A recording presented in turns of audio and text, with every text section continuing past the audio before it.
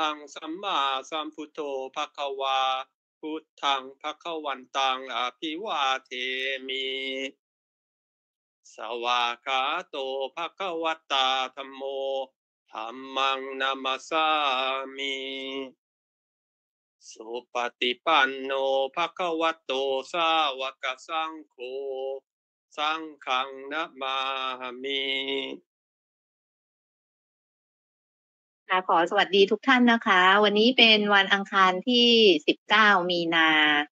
2567 นะคะ เมื่อวานที่เราคุยกันไปถึงเรื่อง ความหมายของอัศาทะ อาทีนวะ นิสรณะ ผล อุบาย อานัตนะคะ ว่าหมายถึงอะไร ก็น้องอาร์ตก็กรุณาไปนำคลิปสั้นที่อาจารย์ประเชิญทำมาไว้ ซึ่งอาจารย์ก็ทำไว้น่าฟังมากทีเดียว แล้วก็ไม่ยาวเกินไป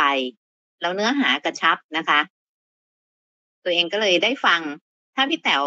ได้ไปฟังนะคะ ที่น้องอาร์ตเอามาลงเนี่ย ก็มากมากเพียงพอนะคะสำหรับคำอธิบายจากพระอาจารย์สมบัติ แล้วเราก็เข้าไปอ่านมหาทุกขขันธสูตรด้วยจากพระไตรปิฎกนะคะ อย่างเงี้ยค่ะ มันเป็นการ ความเข้าใจสะสมความเข้าใจของเราไปทีละเล็กทีละน้อย ในความเป็นจริงแล้วนะคะ เกือบทุกบรรทัดของพระไตรปิฎกเลย มีเนื้อหาสาระอยู่ในนั้นทั้งหมด จะเป็นตัวที่จะทำให้เรามีสติปัญญามากขึ้น เกือบทุกบรรทัดเลยสำคัญมาก คือเราไม่สามารถที่จะ เอ่อกระโดดข้ามหรือไม่ใส่ใจเป็นบรรทัดบรรทัดได้นะคะ บอกเลยว่าไม่ได้ ถ้าตั้งใจจะอ่านต้องอ่านทุกตัวนะคะ แล้วก็ตีความให้แตกด้วย ซึ่งพระอาจารย์ก็ก็อธิบายดีมากว่า อาสาทะก็คือ คือความน่ายินดีพอใจของสรรพสิ่งนะคะ ทีนี้ในมหาทุกขขันธสูตรเนี่ย ก็ยกตัวอย่างวัตถุที่เป็นที่ตั้งของของโลภะเนี่ยนะคะ ก็คือ รูปนะคะ รูปธรรม ก็คือพระอาจารย์ใช้คำว่ารูป ก็ส่วนมากก็จะเป็นเน้นรูปประกาย แล้วก็จะเน้นเรื่อง เอ่อความสวยของผม หญิงสาวชายหนุ่มมองกันอะไรอย่างนั้นอย่างนี้นะคะ ก็คือเป็นภาษาชาวบ้านที่เข้าใจได้ ก็คือรูปนะคะ รูปเนี่ยจะให้ให้ความคือเขามีความน่ายินดีพอใจอยู่ในตัวเขา แต่ถ้าในแง่พระพิธรรมนัยแล้วเนี่ยเราต้องมองให้เห็นว่านี่พระพุทธเจ้ากำลังสอนว่ากิเลสเกิดแล้วนะ โดยมีสิ่งนั้นเป็นอารมณ์ แต่ถ้าเป็นภาษาของพระสูตรเนี่ยจะใช้คำว่า รูปเนี่ยเขาเขาให้ความเขามีความน่ายินดีพอใจให้เราไปชื่นชมอะทำนองอย่างนี้นะคะ แล้วก็ตัวที่สองก็คือเป็นการมคุณห้าตัวที่สามเป็นเวทนา แล้วพระอาจารย์ก็ กล่าวว่าพระสูตรเนี้ยกำลังสอนกายานุปัสสนาสติปัฏฐานให้เรา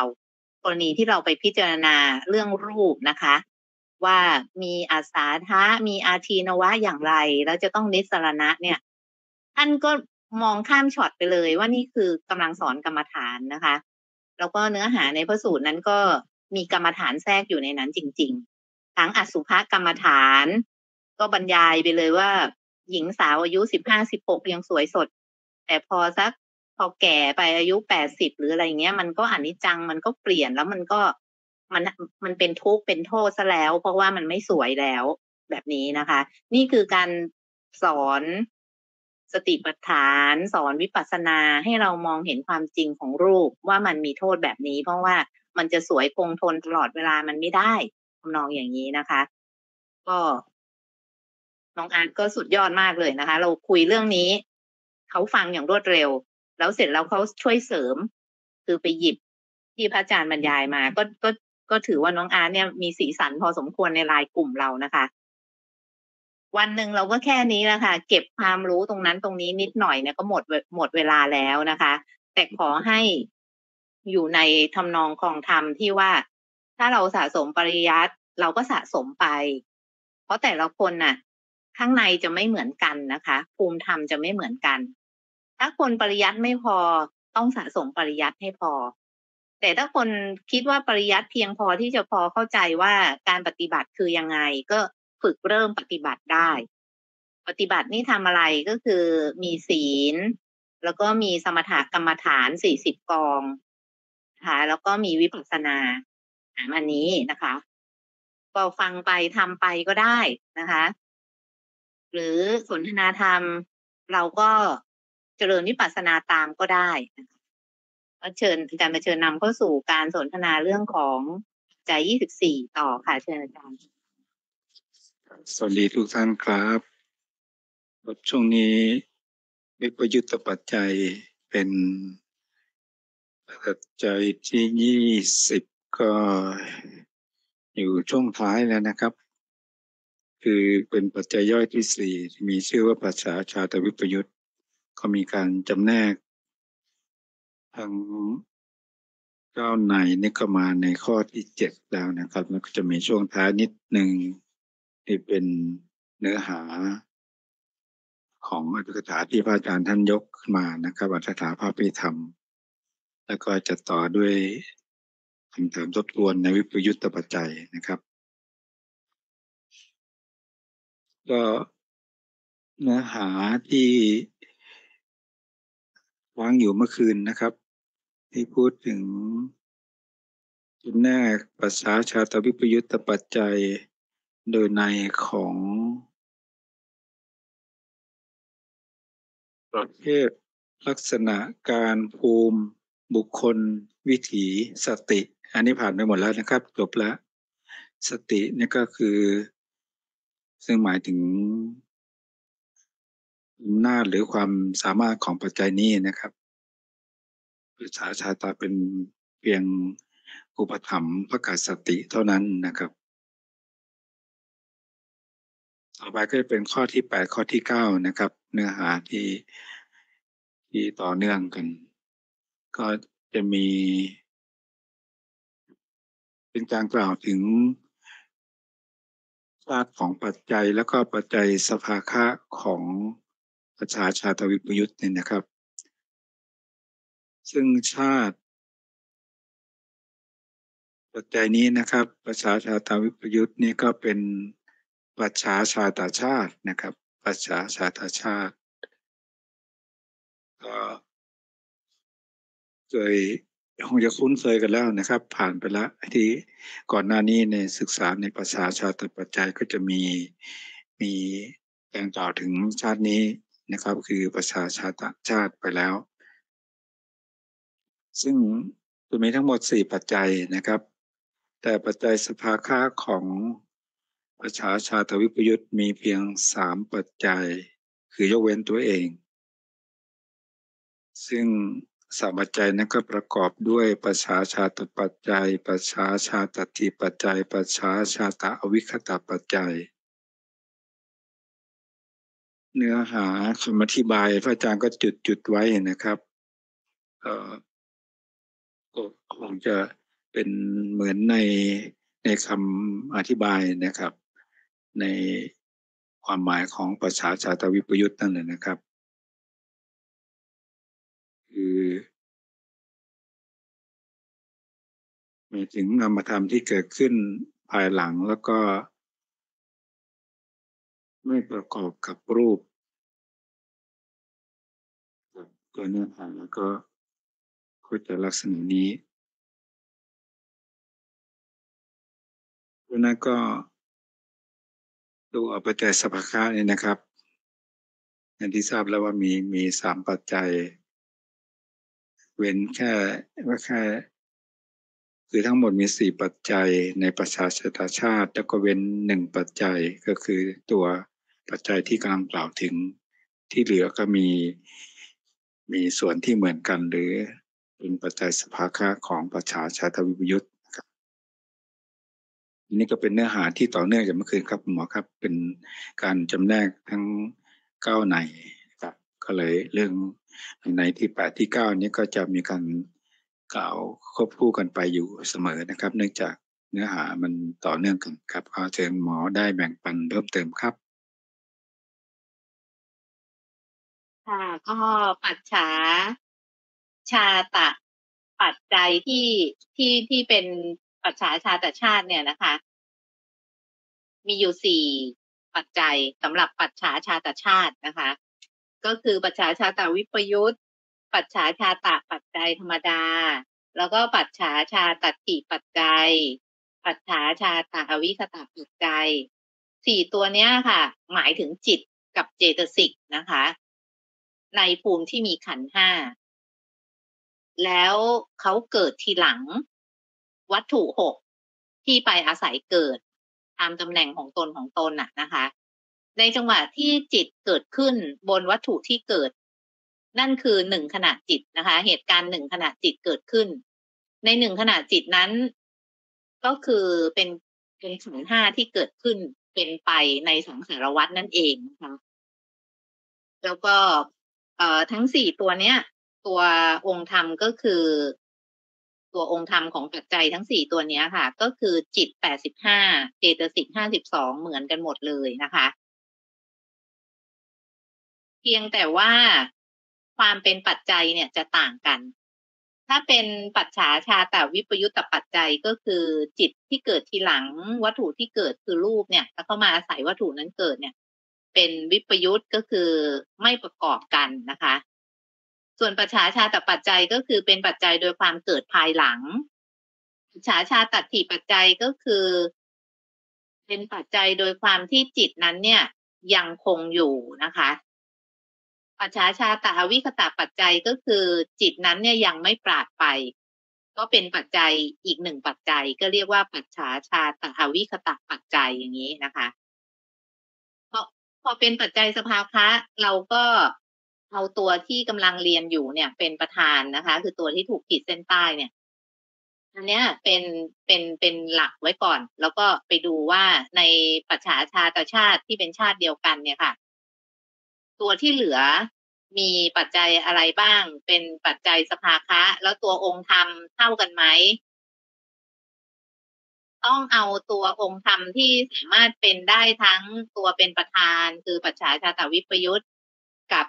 เป็นปัจฉาชาตปัจจัยได้ด้วยนะคะ จึงจะเรียกว่าเป็นองค์ธรรมที่เขาสภาคะกัน ซึ่งดูแล้วก็คือ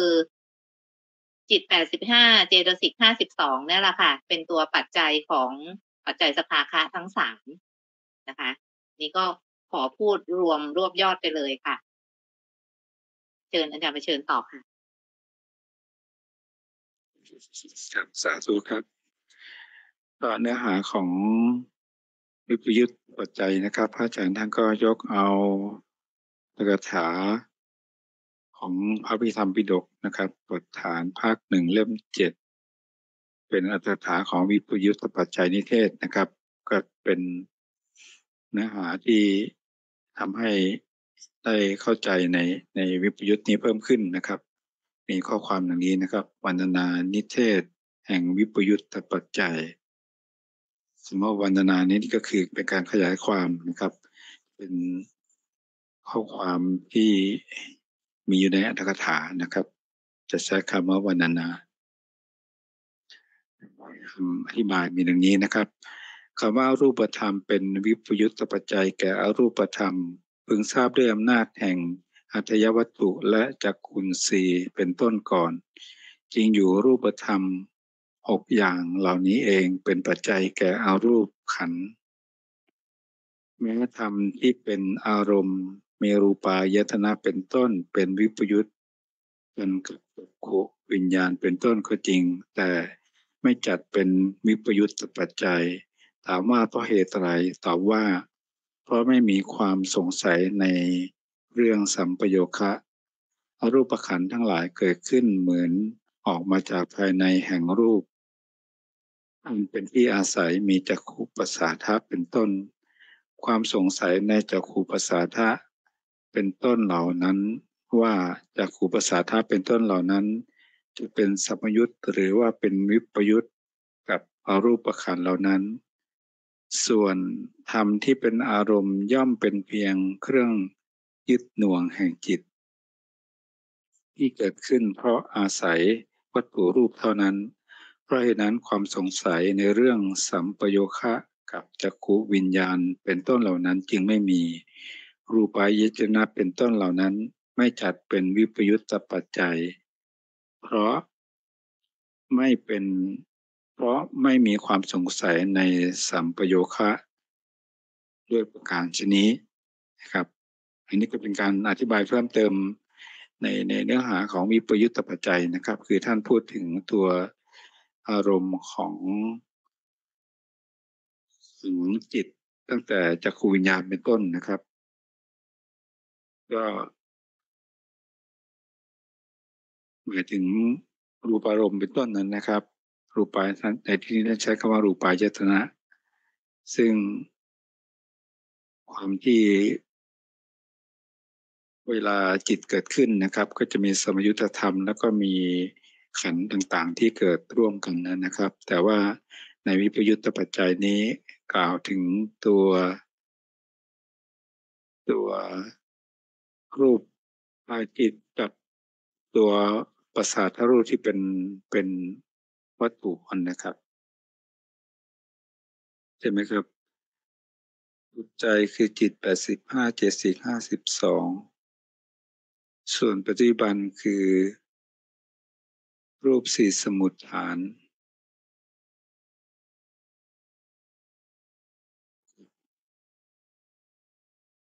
คือที่ท่านอธิบายถึงตัวรูปายตนะนะครับ คือไม่ไม่ได้พูดถึงตัวที่เป็น เป็นรูปจตุสมุทฐานิกรูป ตรงนี้ท่านก็เลยได้อธิบายในในตัวรูปายตนะเป็นต้นนะครับ ว่าไม่เป็นวิปยุตจากจากขูวิญญาณเป็นต้น เนี่ยก็เป็นเนื้อหาที่เพิ่มเติมจากที่ที่ก่อนหน้านี้ที่ได้ศึกษาในวิปยุตตปัจจัยนะครับ ก็เป็นเป็นข้อความจากอัตถกถาโดยตรงนะครับที่พระอาจารย์ท่านยกขึ้นมา ครับอันนี้คุณหมอมีอะไรเพิ่มเติมในเชิญนะครับสาธุค่ะ อันนี้ก็เป็นข้อความที่หลายวันก่อนก็บังเอิญที่ว่าหนูไปอ่านในอัตถกถาวิปยุตตปัจจัยก็คือเรื่องนี้นี่แหละ แล้วก็ก๊อปข้อความตรงนี้ไปแปะในไลน์โอเพนแชทนะคะ เสร็จแล้วพี่แต๋วก็เข้าใจว่า เออเหมือนกับว่า เออหนูจะรู้ว่าเราเรายังเขาเรียกว่าคืนที่สนทนากันตอนนั้นอะ หนูเด้งออกไปก่อน ก็ไม่ไม่ไม่รู้ว่ากำลังถกกันเรื่องนี้ แล้ววันรุ่งขึ้นหนูก็ไปหาเรื่องนี้มาแปะพอดีนะคะ ทีนี้หนูก็ผ่านไปจากที่อธิบายไปแล้วรอบหนึ่งก็มาได้ความรู้เพิ่มขึ้นมาอีกเล็กน้อยที่อยากแบ่งปันนะคะว่าทำไมท่านถึงยกตัวอย่างเอาว่าจิตเห็นกับสี แล้วบอกว่าสีที่จิตเห็นเห็นนั้น สีนั้นไม่เป็นวิปยุตกับจิตเห็นนะคะ เหตุผลก็คือ เหตุผลก็คือว่า จิตเนี่ยจะต้องรู้อารมณ์ ทีนี้ก็เลยยกตัวอย่างจิตเห็นไปรู้สีนะคะ ความเป็นวิปยุตตปัจจัยในปัจฉาชาตวิปยุตตปัจจัยเนี่ย เราต้องมองให้ออกก่อนนะคะว่า จิตเห็นเนี่ยเขาในขณะที่เขามาเกิดที่จักขู่ภาษาทรูป ขณะนั้นเกิดขันห้าขึ้น ที่จักขู่ภาษาทะจิตเห็นรวมทั้งเจตสิกทั้งหมดในหนึ่งขณะจิตนั้นเนี่ยขันห้าอยู่ตรงนี้ อยู่ตรงอยู่ตรงจักขู่ภาษาทรูปของเราที่จิตเห็นเกิดขึ้นนะคะ จิตเห็นที่มาเกิดที่จักขู่ภาษาเนี่ยภาษาทาเนี่ยค่ะเขาเป็นปัจฉาชาตะวิปยุตตปัจจัยกับจักขู่ภาษาทานะคะ คือไม่ได้ยุ่งเกี่ยวอะไรกับสิ่งที่จิตเห็นนะ่ะกำลังเห็นเลย ไม่ว่าจะเป็นเห็นในร่างกายหรือเห็นนอกร่างกายก็ไม่เกี่ยวนะคะ ความเป็นวิปยุตจะเกิดตรงที่เป็นขันห้าตรงจุดที่เป็นขันห้าก็คือตรงวัตถุที่เกิด พอเขาวิปยุตกับวัตถุที่เกิดเนี่ยปัจจัยนี้นะคะ บอกว่าเขาก็วิปยุตกับรูปทั้งสี่สมุดฐานในร่างกายของเราเนี่ย ที่ เกิดมาก่อนที่จิตเห็นดวงเนี้ยจะเกิดขึ้น แม้จิตเห็นจะเกิดที่จักปุปภาษานะคะ แต่ตัวจิตเห็นเนี่ยทำหน้าที่อุปถัมภ์รูปทั้งสี่สมุดฐานทั้งร่างกายเลย ตั้งแต่หัวจรดเท้า ไม่ว่าจะเป็นโสตประสาทรูปโสก็เป็นรูปที่เกิดจากกรรมใช่ไหมคะ แต่อยู่ในรูหูคานาภาษาทะหรือกายภาษาทะทั่วทั้งตัวเนี่ย ที่เกิดทุกๆอนุขณะ ตัวจิตเห็นนั้นก็ทำหน้าที่อุปถัมภกสติ ต่อรูปทั้งสี่สมุดฐานทั้งร่างกายของเราเลย แล้วเป็นวิปยุตตปัจจัยด้วยนะคะ ทีนี้ถ้าจิตเห็นมาเห็นสีที่มาเห็นสีที่ที่เกิดจากทั้งสี่สมุดฐาน อ่า เอาอย่างนี้แล้วกัน สมมุติจิตเห็นมาดูสีผิวของตัวเอง เอายกตัวอย่างคนกินมะละกอหรือกินแครอทเยอะๆนะคะ แล้วก็เอาฝ่ามือมาดูหรือเอาผิวมาดูวิทำไมเราเหลืองจังเลย เหลืองจังเลยเนี่ยนะคะ ไอ้ไอ้สีเหลืองๆที่เห็นเนี่ยเราเราสมมุติว่าเราแทงไปเลยนะคะ ว่าเป็นสีที่เกิดจากอาหาร แล้วสีที่เกิดจากอาหารนั้นเนี่ย ก็เป็นรูปที่เป็นหารสมุดฐาน แล้วก็เกิดก่อนจิตเห็นด้วยนะคะ จิตเห็นก็อุปถัมภ์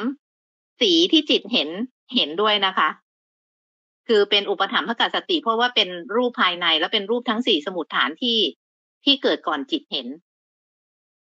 แล้ววิปยุตวิปยุตกับสีที่ที่กำลังเห็นด้วยนะ โดยในยะของว่าเป็นปัจฉาชาตาวิปยุตตปัจจัย ก็คือจิตเห็นเนี่ย เป็นปัจฉาชาตาวิปยุตตปัจจัยต่อหิติปัตตะของจตุสมุทฐานนิกรูป ก็คือรูปทั้งสี่สมุทฐาน อย่างนี้เป็นนะคะ เป็นปัจฉาชาตวิปยุตตปัจจัยนะสำหรับรูปายตนะในร่างกาย แต่ถ้าเป็นสีภายนอก ไม่เกี่ยวกับวิปยุตเลยค่ะทีนี้ทำไมในในพระไตรปิฎกท่านถึงไม่ได้บอกขนาดนี้นะคะ จริง ๆ แล้วคือถ้าพระอาจารย์สมบัติอยู่ให้เราถามเนี่ย หนูก็อยากจะถามว่าหนูคิดแบบเนี้ยถูกหรือเปล่านะแล้วก็อีกอันหนึ่งก็คือ เราเราต้องทราบว่าพระพุทธภาคทรงทรงรู้ปัจจัยเนี่ย เยอะกว่าในคัมภีร์ที่เราเรียน เราก็มีอีกหลายอย่างที่ที่ทรงไม่ได้อธิบายเอาไว้ทั้งหมด อ่า แต่ทีนี้เราหนูก็คิดตามคำพูด ของปัจจัยปัจจยุบันเนี่ย มันก็ไม่ผิดนะ คือสีที่ฝ่ามือเราเนี่ย เป็นรูปที่เกิดจากอาหาร แล้วต้องเกิดก่อนจิตเห็นด้วย เพราะสีที่จิตเห็นเห็นเนี่ย สีนั้นกับตัวจักขู่ภาษาธาที่เป็นวัตถุที่เกิด เขาต้องเกิดก่อนค่ะ เขาต้องเป็นเขาเรียกอะไรคะเกิดก่อนก็คือปุเรชาตะ ทีนี้พอเกิดก่อนเสร็จปั๊บเนี่ย จิตเห็นก็ต้องมาอุปถัมภ์คำจุนสีผิวที่ฝ่ามือด้วยค่ะ โดยปัจฉาชาตวิปยุตอันนี้อันนี้หนูแยกแล้วนะคะ ว่าเป็นรูปายตนะในร่างกายกับนอกร่างกาย ตรงนี้อาจจะเป็นที่พี่แต๋วสงสัยหรือเปล่าก็ไม่รู้เนี่ย ว่าพี่แต๋วเคยสงสัยแบบนี้หรือเปล่าคะว่าทำไมไม่เป็นวิปยุตหรือมันควรจะเป็นวิปยุตไหมเกี่ยวกับสีในร่างกายหรือเปล่าคะพี่แต๋ว หรือหนูอธิบายในมุมนี้ปั๊บทำให้พี่แต๋วงงมากขึ้นไหมคะไม่งงค่ะ เคยเคยสงสัยแบบนั้นค่ะ อืมแสดงว่าค่อนข้างคล้อยตามที่หนูพูดใช่ไหมคะเนี่ยพี่แต๋วใช่สีค่ะที่ฝ่ามือค่ะเพราะมันเป็นรูปมันเป็นมันเป็นรูปารมณ์ภายนอก ค่ะ ถ้ารูปารมณ์ภายนอกไม่เป็นวิปยุตอันนี้พี่แต๋วเข้าใจใช่ไหมคะใช่ค่ะอ่า แต่ถ้าเป็นรูปารมณ์ภายในเนี่ย ก็มันก็เข้าอยู่ในกลุ่มสี่สมุดฐานเนี้ยค่ะ หรือ หรืออย่างนี้นะคะ อ่า เป็นเป็นสีที่เกิดจากจิต เช่น สมมุติว่าเราเราเครียดมากเลย เราเครียดเรากังวลเรามีเรื่องแบบโทสะเกิดอะ หน้ามันหมองคล้ำค่ะ อุ้ยมองอะไรก็ไม่ชัดไปส่องกระจกดูหน้าตาไปแล้ว หรืออาจจะแบบร้องไห้หนักเลยอะอย่างเงี้ยนะคะ รูปายตนะนั้นน่ะ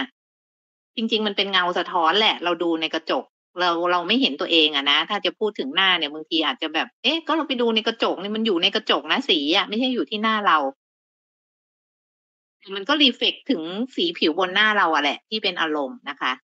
เมื่อกี้หนูก็เลยยกตัวอย่าง สีที่ฝ่ามืออะเอาสีที่ฝ่ามือตอนโกรธก็ได้ค่ะ ตอนโกรธโกรธจัดๆเลยเนี่ยบางทีมือมันซีดนะคะ สมมุติความดันคนละคนโกรธมากๆความดันพุ่งปรูดเวลาความดันขึ้นเนี่ย ส่วนหนึ่งเนี่ย มันมันเกิดจากสาเหตุของเส้นเลือดปลายมือปลายเท้ามันหดค่ะ มันหดเสร็จแล้วเลือดจากหัวใจเนี่ย มันวิ่งไปไม่ได้ มันเหมือนใครไปหักสายยางอะ่ะ ความดันในสายยางมันจะมันจะเยอะค่ะ เพราะฉะนั้นปลายมือปลายเท้าจะซีด อะสมมุติเอามือตัวเองมาดูโอ้ยซีดโหนี่เรากดจัดเลยนะเนี่ย มือนี่เลือดไม่มาเลย อย่างนี้นะคะ สีที่เกิดจากจิตที่ซีดเนี่ย แล้วตาไปเห็นเข้า ก็เป็นวิปยุตปัจจัยนะคะ ซึ่งเพราะว่าเป็นรูปที่เกิดจากจิต แล้วเป็นรูปายตนะภายใน อย่างเงี้ย เป็นจิตที่เกิดที่จากผูวิญญาณที่เกิดขึ้นเนี่ย เขาทำหน้าที่อุปถัมภ์รูปนั้นด้วย เพราะว่าจิตความโกรธกับจิตเห็นเนี่ยมันก็สลับกันไปมาได้อะนะคะ สลับกันไปมาได้ อย่างรวดเร็วอยู่แล้วหนูคิดว่าเป็นปัจฉาชาตวิปยุทธ์ด้วยนะคะ กรณีเป็นรูปายตนะ ถ้าพูดถูกก็เป็นพระพุทธพจน์นะคะ ถ้าพูดผิดเอ่อก็ยอมรับผิดเองนะคะ เนื่องจากว่าไม่มีพยัญชนะยุติในส่วนตรงนี้ค่ะ แต่ถ้าเป็นสีภายนอกไม่ไม่วิปยุทธ์แน่นอน เชิญอาจารย์ต่อค่ะเดี๋ยวนี้มีท่านใดจะรวมสนทนาหรือแบ่งปันก็เลยเชิญนะครับ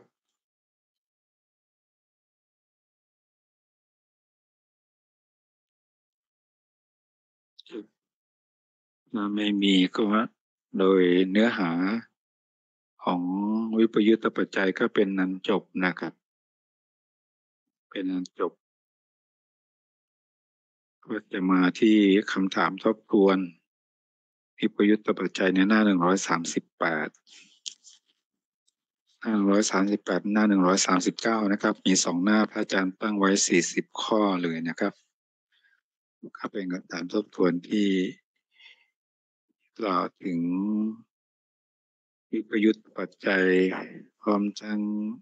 ตัวปัจจัยย่อยที่ที่เราได้ศึกษาร่วมกันไปนะครับ ตามหนังสือที่เป็นลำดับมาก็มาทบทวนอีกครั้งหนึ่งนะครับพอผ่านไปเลยเนี่ยก็ลืมก็ทบทวนอีกครั้งก็จะช่วยทำให้เสพคุ้นในพยัญชนะ ของคำอธิบาย ซึ่งก็ จริงๆก็เป็นคำสอนของพระสัมมาสัมพุทธเจ้านะครับ แต่ว่าจะอธิบายโดยนัยยะของตถาดีกาหรือในรุ่นหลังก็ตามก็เป็นคำอธิบายในพระบาลีหรือพระไตรปิฎกนั่นเองนะครับ แต่ว่าจะออกมาในรุ่นหลังๆเพื่อให้ ให้คนรุ่นหลังนี่นะครับ ได้เข้าใจในในเนื้อหา แต่ในผู้ที่ฟังยุคแรกๆนะครับ ก็ไม่ต้องมาอธิบายอะไรมากนะครับ ท่านก็สามารถที่จะเข้าถึงอัตถาได้เลยแต่รุ่นของเรานี่ก็ต้องพึ่งหลายหลายชั้นนะครับ ต้องพึ่งทั้งอัตถกถาดีการแล้วก็มีผู้ที่ศึกษามาก่อนในยุคนี้นะครับ ก็ต้อง ต้องอาศัยท่านเหล่านั้นที่ท่านได้ศึกษาและก็ได้มีการพิจารณาใส่ใจ จึงจะเข้าถึงอัตถาได้นะครับ เพียงอ่านผ่านหรือฟังผ่านนี่ก็บางทีมันมันไม่เข้าใจในอัตถะนะครับ อาจจะพอจำในเรื่องของพยัญชนะได้บ้างเท่านั้นเอง และในในตัวของคำสอนที่ฟังพระอาจารย์นะครับพูดบ่อยที่ว่าตัวบาลีหรือพระบาลีหรือพระพุทธพจน์จริงๆนี่ยมีพยัญชนะตื้นแต่อัตถะลึกดังนั้นถ้าไม่ใช่ผู้ที่มีปัญญาในสมัยครั้งพุทธกาลนะครับ ก็ไม่สามารถที่จะเข้าถึงอัตถะได้อย่างท่องแท้นะครับ ก็ต้องอาศัยภาษาวก หรือแม้แต่พระสมมาสัมพุทธเจ้าที่พระองค์ได้อธิบายบางส่วนก็เป็นอัตถกถา หรือภาษาวกทั้งหลายที่เป็นพระหันนะครับท่านก็เป็นอัตถกถา แล้วก็ดีกาจารย์รุ่นต่อมาจากอัตถกถา ในก่อนก่อนพันปีหรือหลังพันปีนิดหน่อยพวกนั้นนะครับ ก็เป็นผู้ที่ศึกษาคำสอนโดย หรือว่าใกล้ใกล้สมัยครั้งพุทธกาลนะครับ ท่านก็จะเข้าถึงอัฏฐาได้มากกว่า เรานี่ในยุคปัจจุบันนี้นะครับ ผู้ที่จะศึกษาคำพีนี้ก็หายากแล้วนะครับ ผู้ที่จะเข้าใจแตกสารนี่ยิ่งหายากมากยิ่งขึ้นนะครับ เพราะฉะนั้นก็พวกเราก็เป็นส่วนหนึ่งที่จะนำคำสอนเข้ามาอยู่ในใจ ก็เป็นการสืบทอด คำพีประฐานที่เป็นคำพีที่จะอันตรธานก่อนเพื่อนนะครับ ที่ว่าอันตรธานนี่ก็คือไม่มีใครรู้เรื่องไม่มีใครเข้าใจเลยนะครับในยุคอนาคตนะครับ แม้ว่าจะมีมีคำพีประฐานอยู่ในรูปแบบของการสลักไว้ในหินอ่อน หรือในรูปแบบของยุคปัจจุบันที่เป็น ดิจิตอลก็ตามนะครับ แต่ถ้าไม่เข้าใจในในอัฏฐะแล้วก็ก็พยัญชนะนั้นก็เหมือนเหมือนอักษรโบราณมานั้นนะครับแล้วก็ก่อนที่จะอันตรธาน พวกเราก็เป็นส่วนหนึ่งที่จะช่วยทำให้คำพีนี้สืบต่อไปครับ ก็สืบต่อไปด้วยด้วย เข้ามาอยู่ในใจของเรานั่นเองนะครับทำให้มีศรัทธาสติวิริยะ ปัญญาเกิดขึ้น เข้าใจในคำสอน ซึ่งก็คือเป็นการพูดถึงสัจจะโดยในแง่ที่เป็นเป็นรายละเอียดของ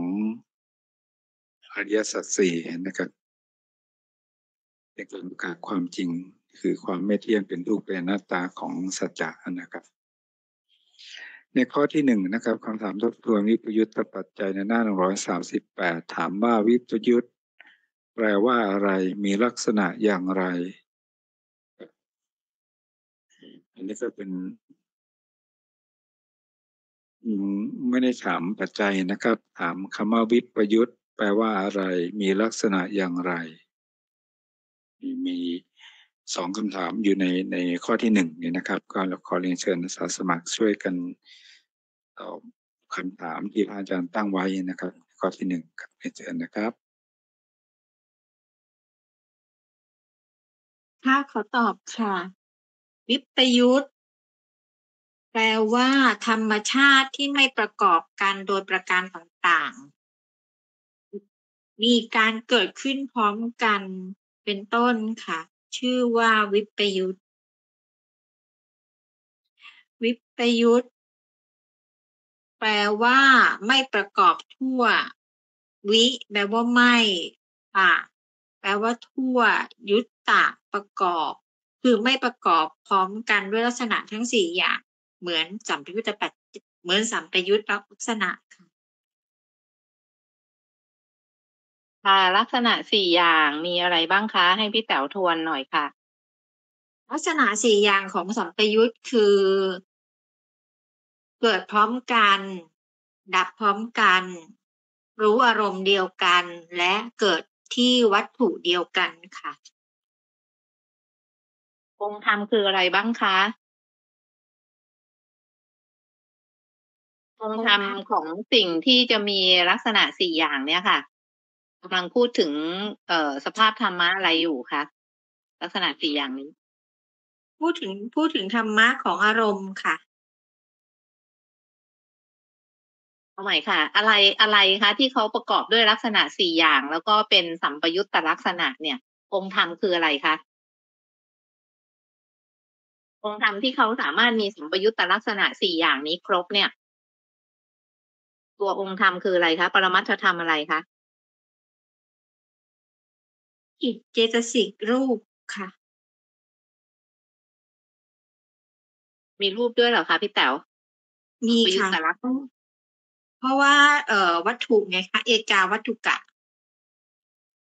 โอ้หนูลืมไปเลย ถ้าอย่างนั้นน่ะ ไหนอยู่หน้าไหนคะร้อยยี่สิบเจ็ดค่ะ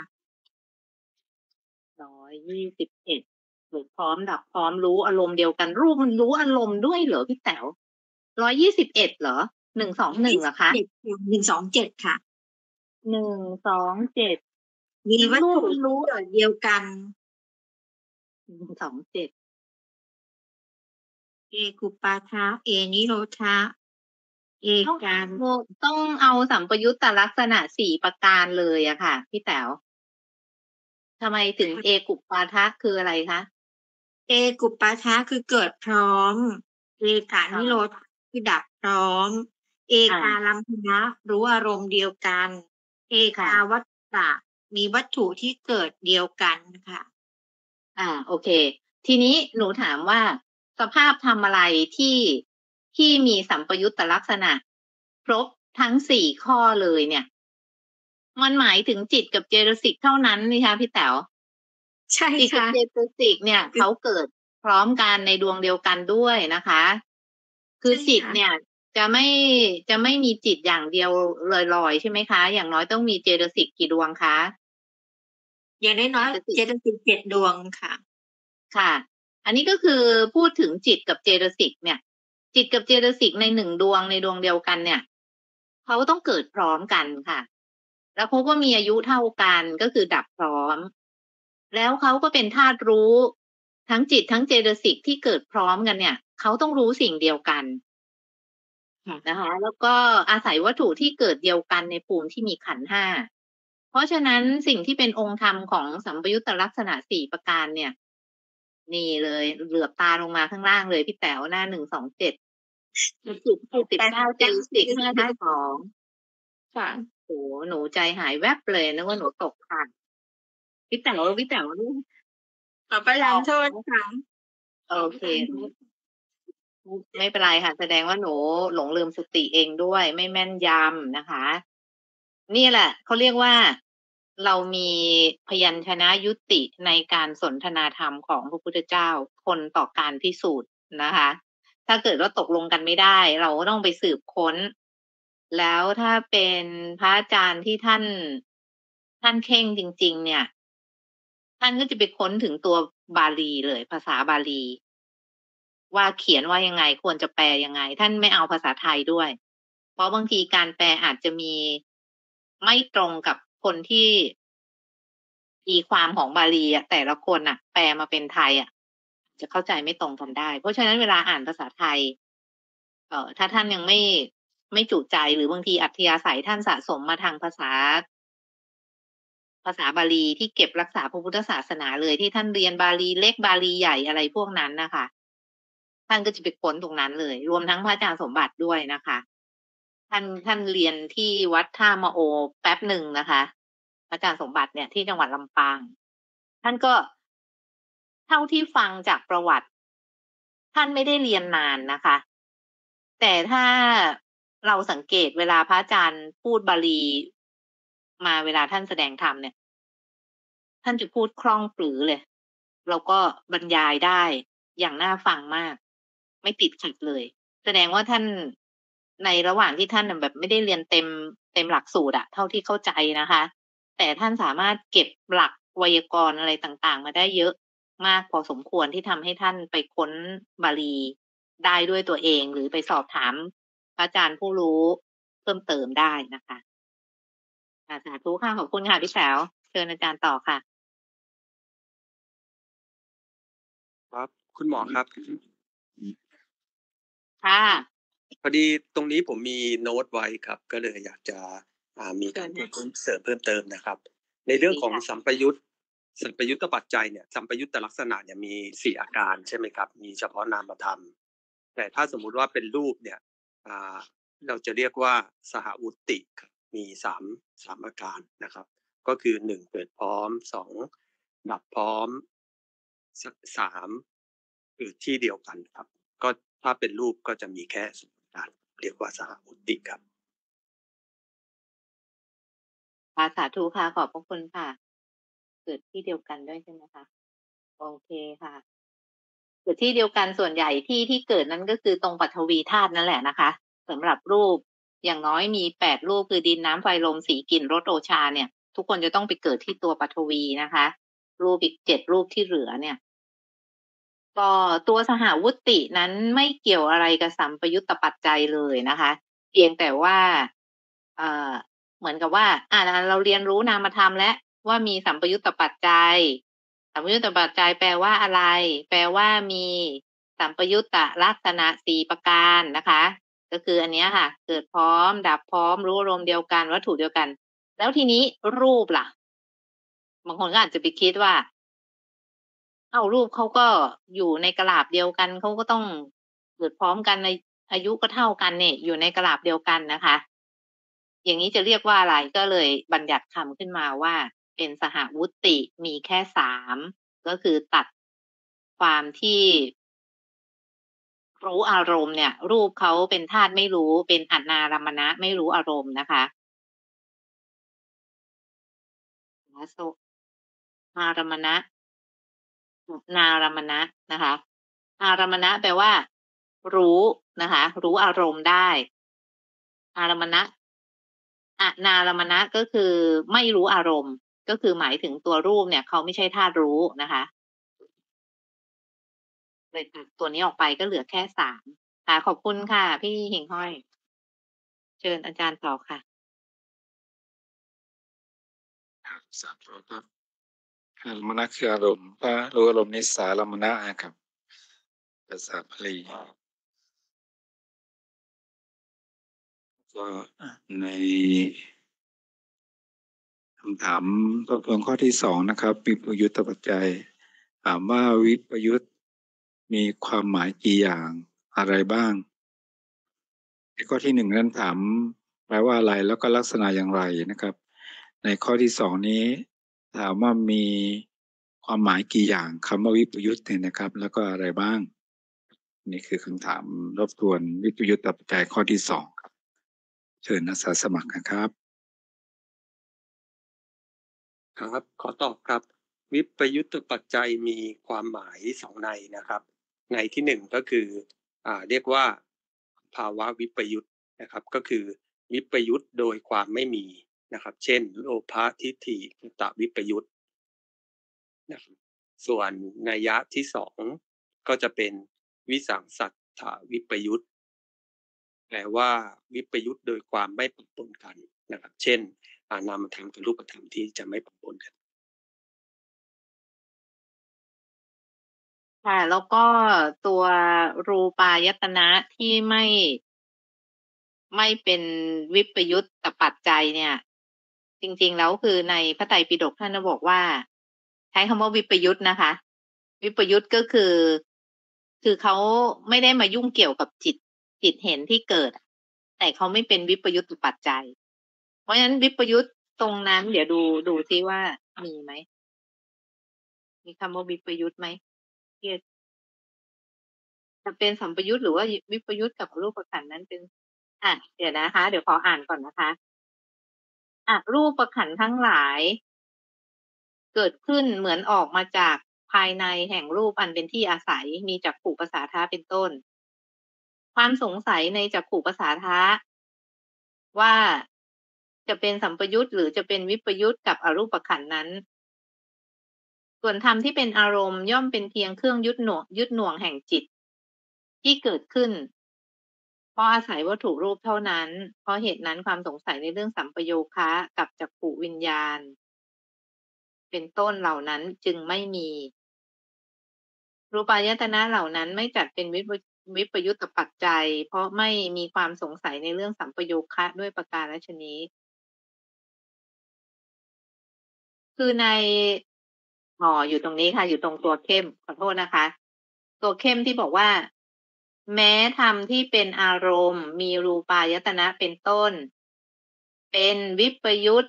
กันกับจักขุวิญญาณเป็นต้นก็จริง แต่ไม่จัดเป็นวิปยุตปัจจัย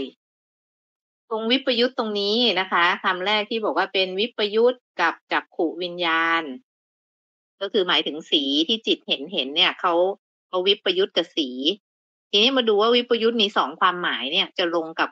วิปยุตไหนดีนะคะ ข้อหนึ่งคืออภาวะวิปยุตหมายถึงวิปยุตโดยความไม่มี คือไม่มีสภาวะอย่างนั้นประกอบอยู่ในที่นั้นอ๋อน่าจะเป็นข้อหนึ่งค่ะ เช่น โลภะ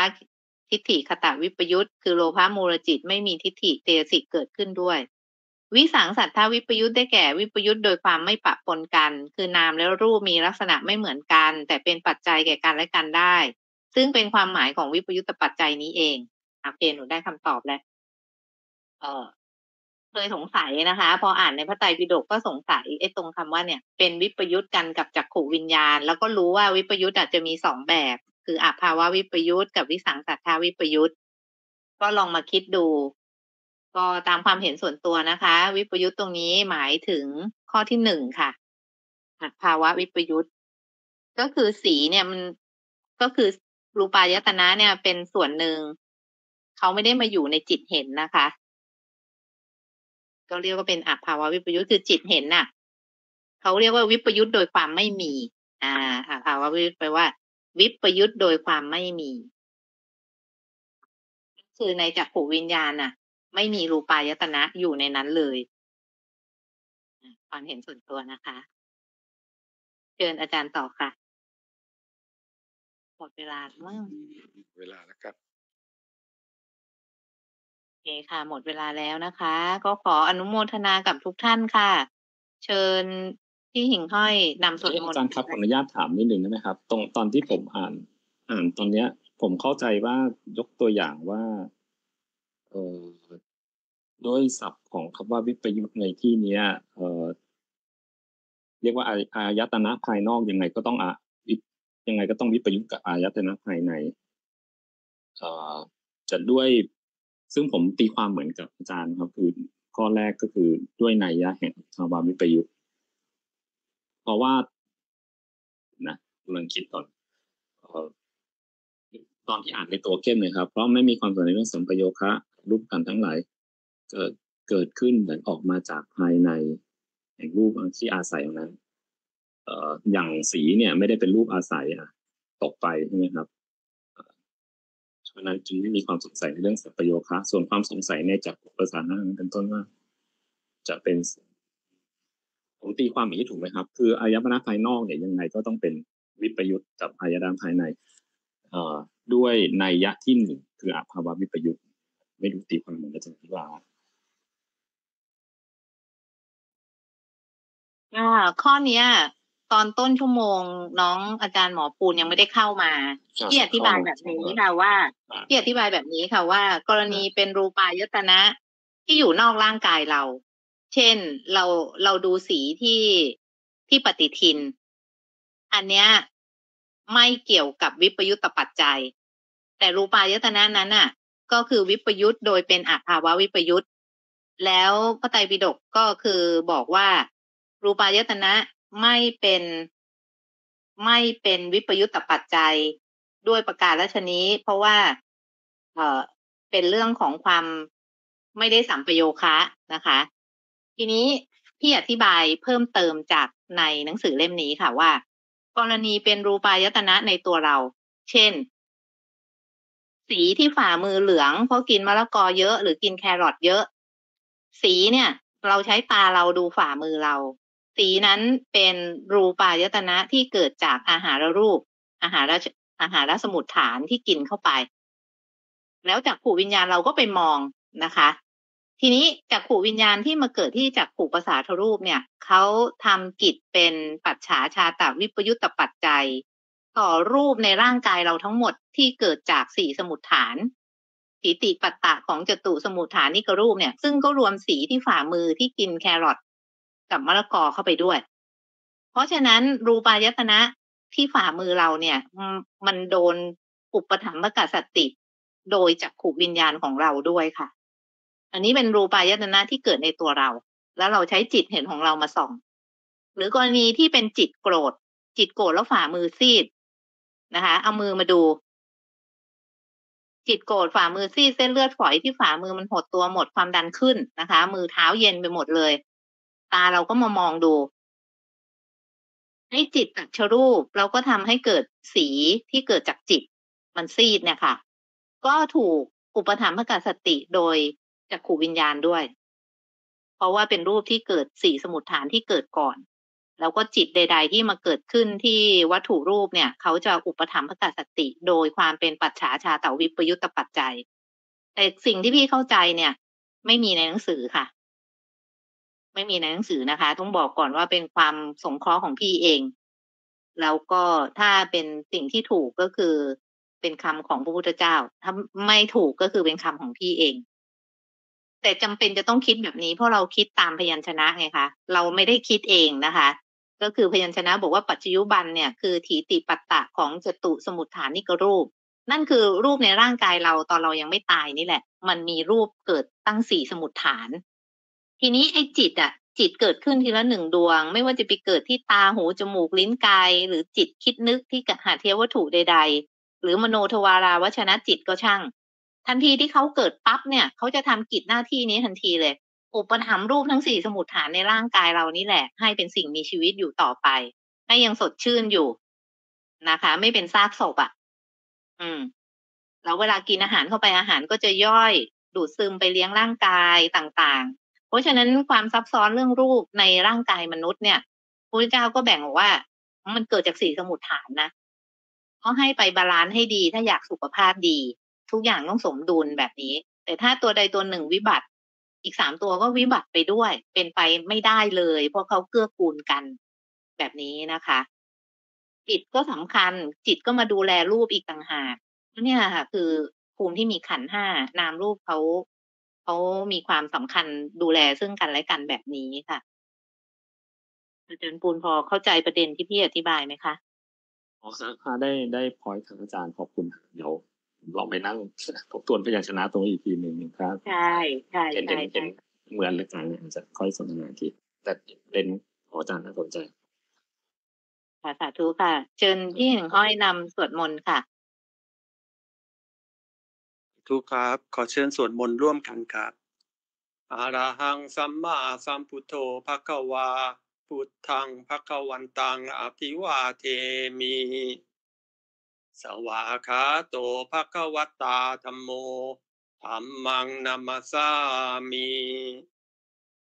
สุปฏิปันโนภะคะวะโตสาวกสังโฆ